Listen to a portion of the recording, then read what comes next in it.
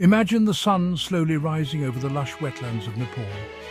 A serene mist hugs the ground and the morning chorus begins to stir. But today there's a special performance in store. Witness the graceful dance of Nepal's tallest flying bird, the Sarus crane. These majestic birds, standing over five feet tall, are the epitome of elegance. With wingspans stretching nearly eight feet, they cut a striking figure against the backdrop of the Nepalese landscape. But it's not just their size that captivates, it's their dance. Ah, the Sarus Crane's dance, a courtship ritual that's both mesmerizing and intricate. During the breeding season, pairs engage in what can only be described as a ballet of nature. They bow, leap and twirl with such grace that it's hard to believe it's all part of a natural process.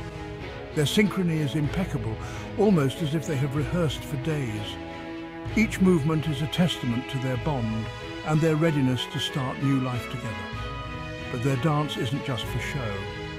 It's a vital part of their courtship, helping to strengthen the bond between mates and ensuring the best genetic match for their offspring. And once the dance is done, the real work begins. Sarus cranes are meticulous nest builders. Using reeds and grasses, they construct large nests in shallow waters, safe from many predators. Remarkably, these nests can be several feet in diameter and are often reused year after year. Watching a pair work together to build and maintain their nest is a powerful reminder of nature's resilience and cooperation. Yet despite their grandeur and importance, Sarus cranes face significant threats. Habitat loss, pollution and human disturbance have all contributed to their declining numbers. But there is hope. Conservation efforts in Nepal are underway to protect these stunning birds and their habitats. From creating protected areas to raising awareness about their plight, every effort counts. And here's where you can play a part. By supporting conservation initiatives and spreading the word about the Sarus crane, you can help ensure that future generations will continue to witness this incredible dance.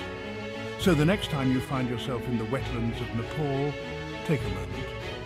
Look around and listen. You just might be lucky enough to witness the Sarus Serenade, a dance that's as timeless as nature itself. Thank you for joining me on this journey through the elegant world of the Sarus crane. Don't forget to like, subscribe and share if you enjoyed this glimpse into the wild.